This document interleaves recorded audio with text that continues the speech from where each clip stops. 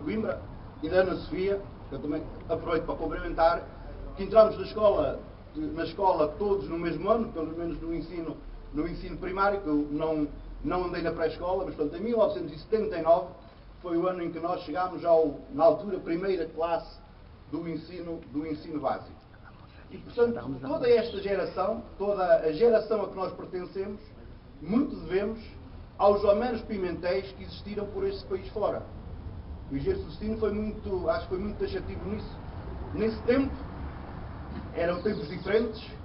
eram tempos em que, eh, de facto, havia ensino, eventualmente, em algumas sedes de distrito, e onde alguns, por outros lados, por outros caminhos, eh, por outras terras menos, mais pequenas, de menor dimensão, só eh, o faziam porque havia pessoas como Homero Pimentel que de uma forma, de alguma forma com certeza absoluta, até altruísta, conseguiam colocar eh,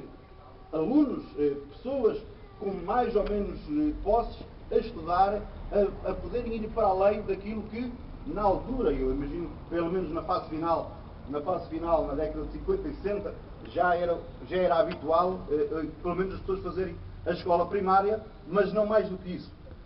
Ainda na ultimação, e falando no, caso, no caso pessoal, só para, para, para termos esta percepção,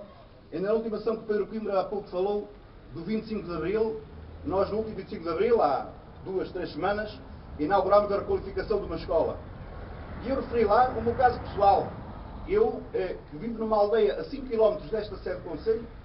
eh, que estava a 25 km ou 30 km da cidade do conhecimento de Coimbra, mas eu fui o terceiro a ultrapassar a quarta classe.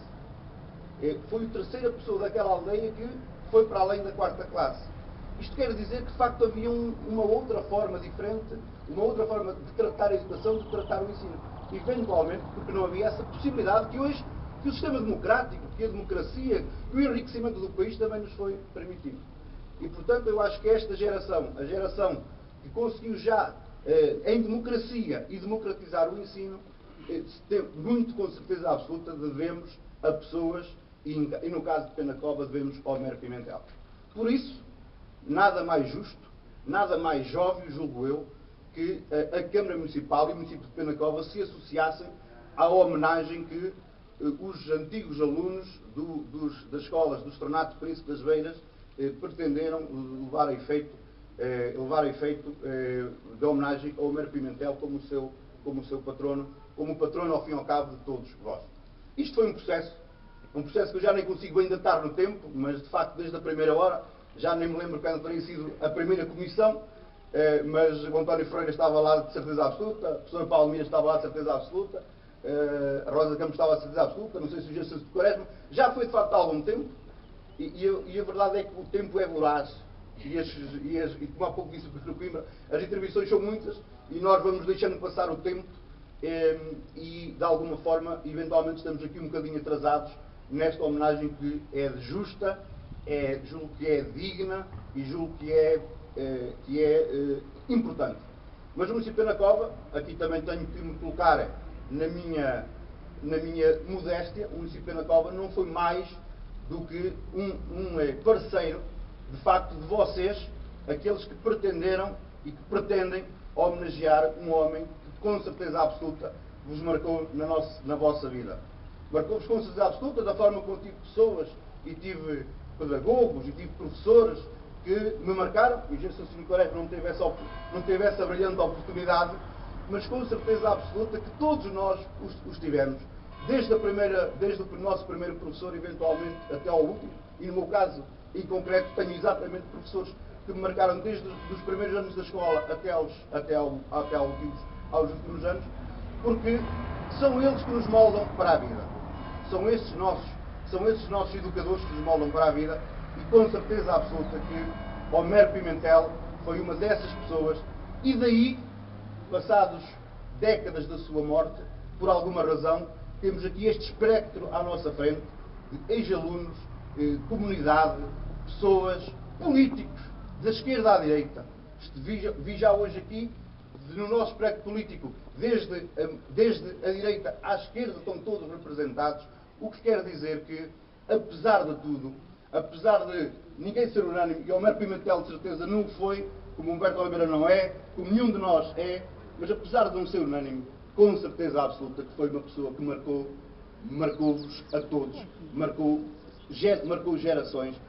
eventualmente, ou, ou não eventualmente, ou com certeza absoluta, por todas aquelas razões que o engenheiro Celestino Quaresma há pouco também nos eh, elucidou e também nos apresentou. Portanto, em nome do município de Penacova, julgo que não é demais agradecer a esta personalidade que nos permitiu dar os primeiros passos na educação e hoje,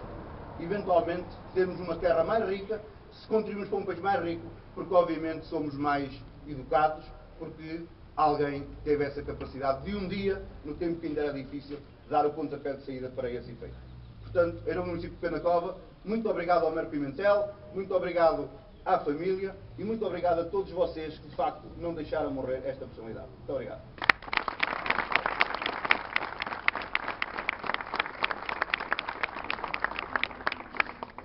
Hum, agora a seguir, então vamos, de, vamos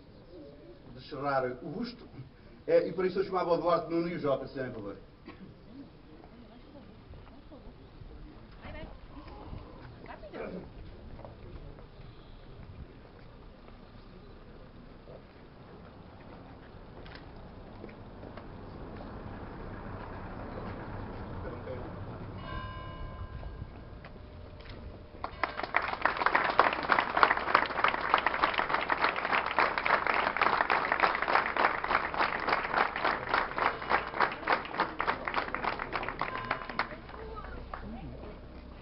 chamava aqui os netos, netos do. Humberto Pimentel E os bisnetos. e os bisnetos, perdão, para depositarem uma coroa de flores.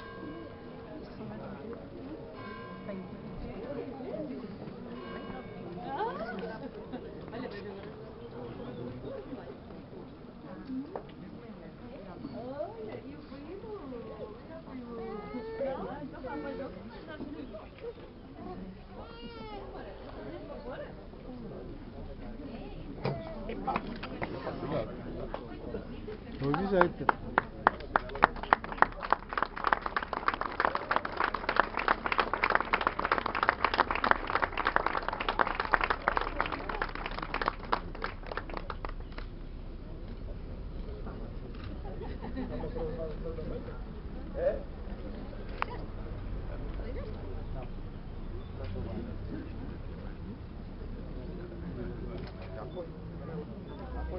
Thank you.